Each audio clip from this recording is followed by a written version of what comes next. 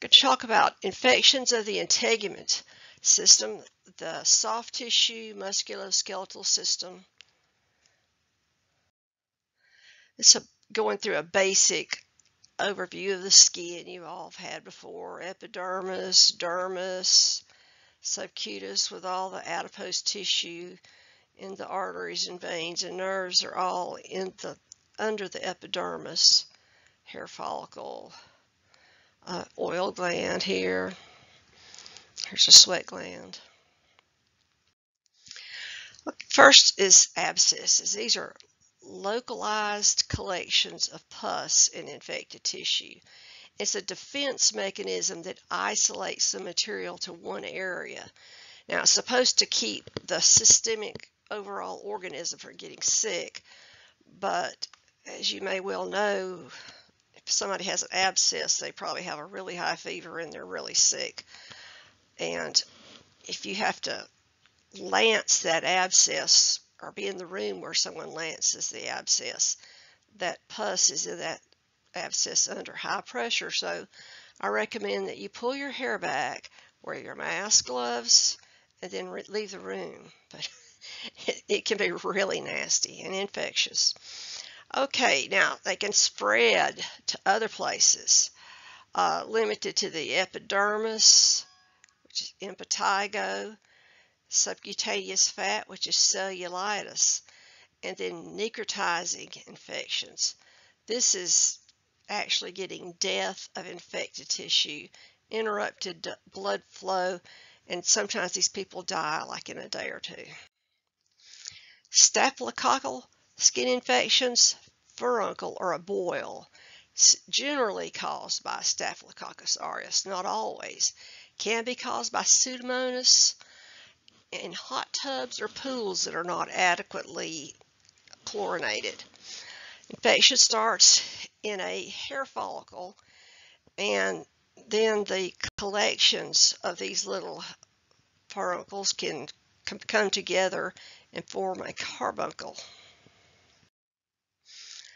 This is folliculitis here, Pseudomonas folliculitis. That when you see a rash that bad, it's time to go to the doctor. Cellulitis is infection of the dermis, subcutaneous tissue. It can be start with a superficial skin lesion, trauma. You treat it with antibiotics, uh, local compresses, analgesics.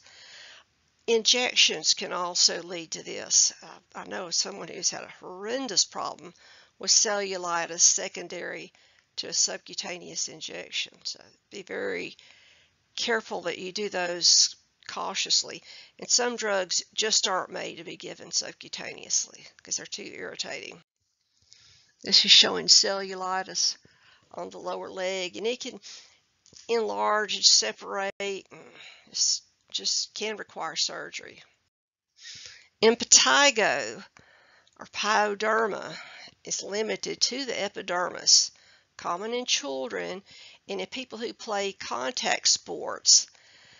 And some of this could be hygiene. Um, they play sports and swap clothes back and forth, helmets, can generally be treated with topical and oral antibiotics. Now the thing about impetigo is it can be very contagious. And here's a kid that's got really bad on their face. And so you go to the, drop your kid off at daycare and they come home with this and then you get it and all your other kids get it. So they generally they would send you home if you tried to bring a kid to school like that, hopefully. Erysipelas, uh, usually caused by group A strep. It's distinguished from erysipelas because it has raised advancing edges and sharp borders. That's basically the same but a little different.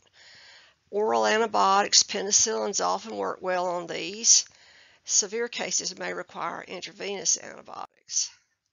And see, look at her face is just all, all inflamed and infected. That's got to hurt acute necrotizing fasciitis, also known as flesh-eating disease. And I was reading in your book or something.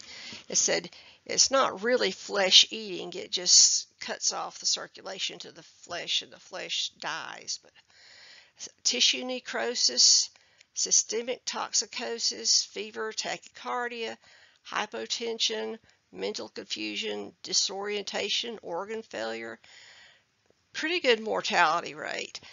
And there was a woman who in Thomaston that was grandmother, relatively young grandmother, 50 I think, playing with her grandchildren and throwing a ball back and forth. And instead of catching the ball, it hit her arm. It made a little scratch. It didn't even really hurt. She didn't think anything about it. Three days later, she had died because that ball had fallen in some dirt. It was contaminated with a flesh eating disease. Now, had she gone in and scrubbed it up and put some neosporin and a band-aid on it, I, it might have prevented it. Maybe it wouldn't have, but the scrubbing would have probably done a lot of good. That's kind of how it gets. Uh, that's real bad. Acne is caused by Propionibacterium acnes. Now, there's no way you can miss this on a multiple choice test. What causes acne? And you see that in the species name lives on fatty acids secreted, secreted by sebaceous glands. Local inflammation, folliculitis, pimples. It can cause permanent scarring. And if your kids have bad acne, really ought to treat them with antibiotics or take them to the doctor. Get something for it.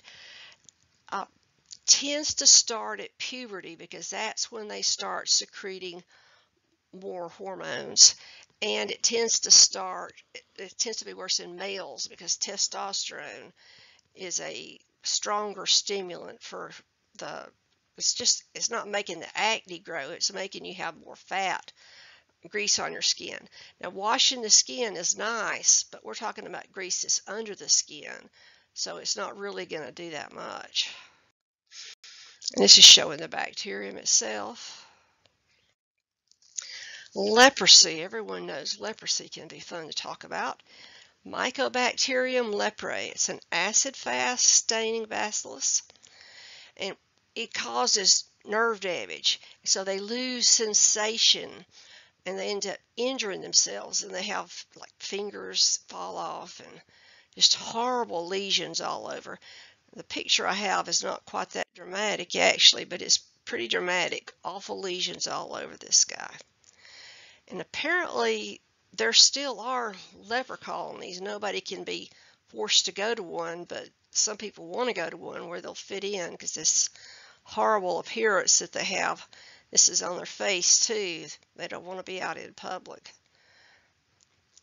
Very difficult to treat. Interesting. It has been cultured out of the foot pads of armadillos. Another interesting fact, armadillos are actually edible. So if you decide you're going to go into the armadillo eating business, don't eat the feet and don't touch the feet. Cook them well and then think again. Osteomyelitis, infection in the bone, can be anything from mild to severe and causes destruction of bone and uh, failure of bone healing. Antibiotics and even surgery can be required warts caused by human papillomavirus. No frogs required. So my mother just knew frogs and toads. Oh man, toads they caused. And we were kind of tomboys and we liked to catch toads and play with them. And my mother was just horrified. They cause little small rough tumors, hands and feet, and direct contact from one kid to the other is how you get them. Uh, there are the sexually transmitted varieties, and there's a vaccine. I think it's for under 27. You could start, I think, at age nine. It's either two or three shots, and it prevents the ones that cause cancer. Now, I had a student ask me, should I get that for my kids? Won't it encourage them to be immoral? And I said, no, they're nine years old. You take them to the doctor and you say, hey, we're getting a shot. What kind of shot? A vaccine shot. Okay. And then you take them back in three weeks. What are we doing? We're getting a shot. What kind of shot? A booster shot. It's not their business at the age of 9 or 10 to know the details of sexually transmitted infections. Hopefully they're not unless they're being abused. Okay, here's some warts here. It's on the finger, around the face, filiform wart, mosaic wart, plantar wart on the feet. Sometimes these are tough. Now, in the, we get these in cattle and horses. They're usually on the ears, and they could just totally misshape that animal. And rather than surgically remove them, I was taught to actually pinch them off with hemostats, and it stimulates an immune reaction. Uh, don't try this at home, uh, but it needs treating. Herpes simplex, painful watery blisters on skin or mucous membranes, lips, mouth, and genitals.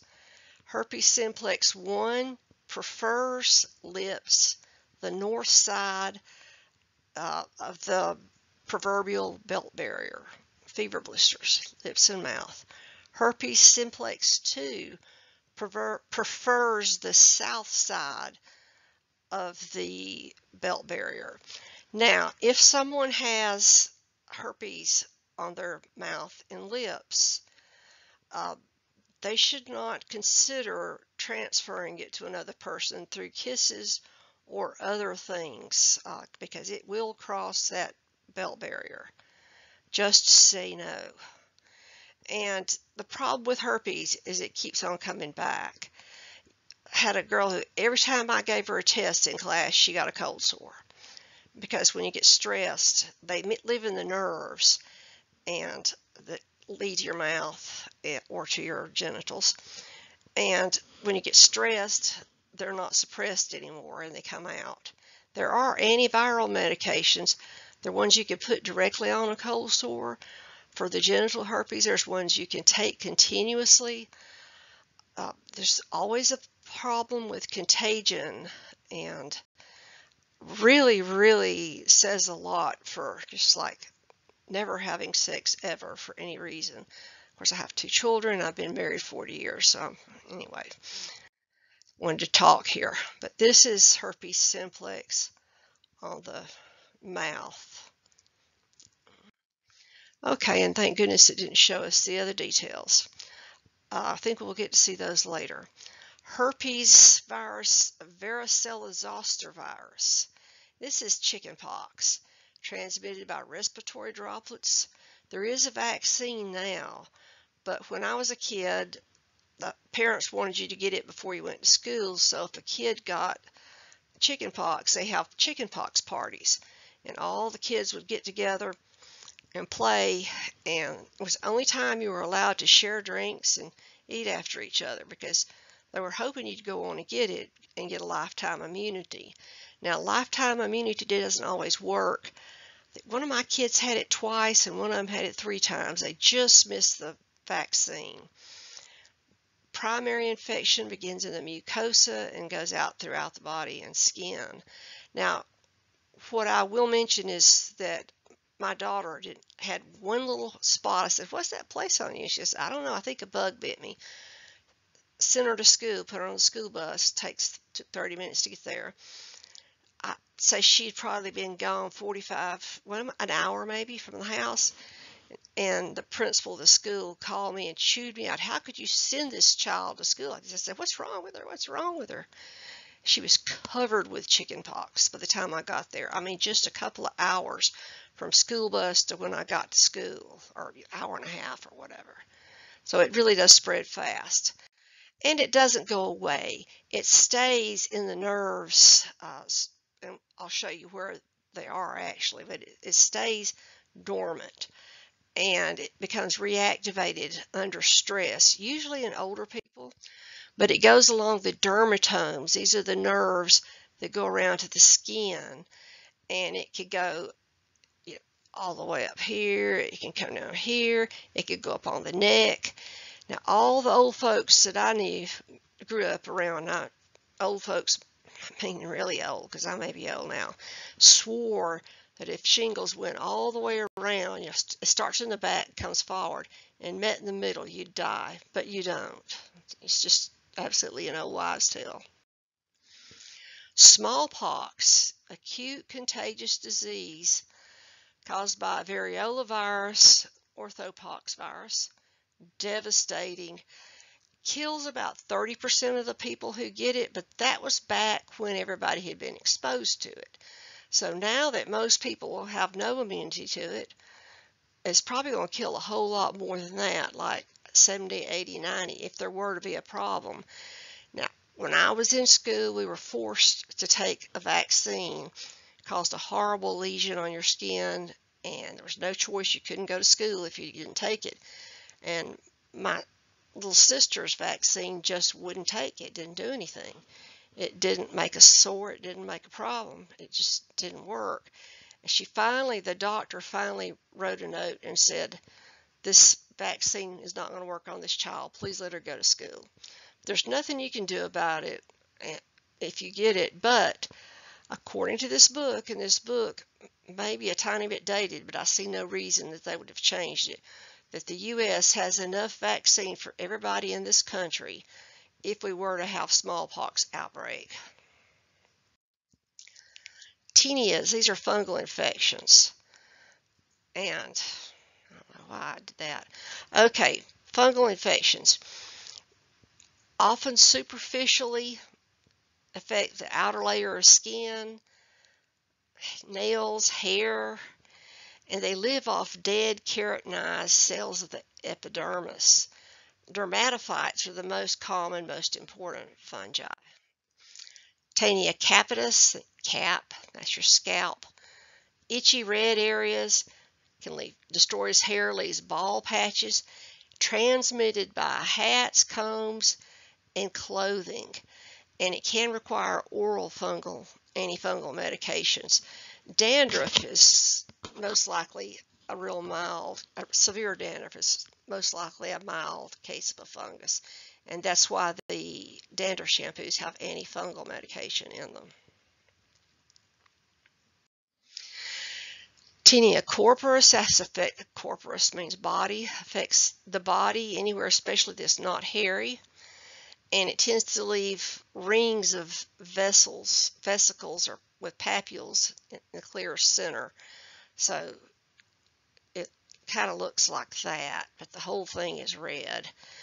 And it is contagious. It's itchy, and so you scratch it and spread it. Can be spread by pets. If you go to the pound to pick out a cat, don't get the one with no hair unless it's one of those hairless cats this itching and its hair's falling out. Get one that's actually pretty because it does spread to people. Very difficult to get rid of in the cats. It can be done uh, generally by not only topical medication, but uh, and over the counter. Forget that. You can't really give over the counter stuff to cats because they lick it and then it's toxic to them. But also by tablets. Um, I had a dog come into clinic and it had these little round things all over it. Nice dog, was a German Shepherd. It was unusual to have a polite, quiet German Shepherd in Macon, Georgia. But it was, and they had been to another vet and they'd been giving it steroids over and over, said it's allergy. And I said, does he itch? And he said, no you know, this really looks like a fungus to me. And I gave him antifungal medication and it started clearing up. Then he came I said, don't let the kids play with this dog. Just keep the dog outside for a while. Well, his little girl played with it. She got ringworm. And ringworm is not caused by a worm. It's a fungus. She got ringworm and it just got uh, all, you know, all over the little girl and the doctor gave medication and anyway, they both got cleared up eventually. Tinea versicolor is actually a yeast called Malassezia globosa. Found on the skin and is not contagious. Usually on younger people, back, underarms, upper arms, chest, lower legs, and neck. And there are over-the-counter medications and sometimes they may have to take prescriptions or oral medications if they're severe. Tinea cruris is in the groin area, jock itch. And if it's there's friction from clothes, especially the reason jock is because they, you know they're athletes, they're staying, they're sweaty, and uh, you can get it, and it causes burning sensation. Um, also, direct contact to the skin, unwashed clothing, you don't want to recycle or especially borrow someone else's underclothes. Responds generally to over-the-counter antifungals, mean clean, dry, and don't have tight, damp clothing on. Taenius unguium. This is um, onychomycosis. This is toenail fungus. And I saw a picture of an athlete, and I wish I remembered who it was, a basketball player. They had toenails that were like longer than the toes. And that, that's what they were infected with. There are topical medications, they don't work. There are oral medications and they don't work. Very difficult to treat. They may return after treatment and they're hard to trim. They get thick. It's pretty bad because it can make the shoes rub on the feet. Okay, tinea pedis. This is athlete's foot. Warm, humid environments, and there's several fungi that could cause it. Cracking, peeling, itching skin. Feels like you got little blisters and oozing, crusting stuff. It is contagious. And uh, that's why if you go to someone else's place and take a shower, and you don't know that the bathroom's real clean, you may catch athlete's foot from them. So over the counter antifungal powder, sprays, and creams usually clear them up. Cutaneous candidiasis. This is caused by the Candida albicans, the same yeast that causes the um, vaginal yeast infection. But it is on the skin, and anybody who gets takes antibiotics, it can cause, they can, it kills off all the bacteria and so yeast grow. Anywhere that's warm, moist, creased areas, armpits, groin, uh, if people who have a lot of fat, if they don't have rolls, they get yeast infection in between those. So if you treat patients that have obesity issues, you need to be sure that you get those areas clean so they don't get infection. Can infect nails, corners of mouth. Just general hygiene, keeping the skin dry, exposed to air, and then topical fungal medications. I wonder if they're advocating nudist colonies. I don't think I'd want to go to one.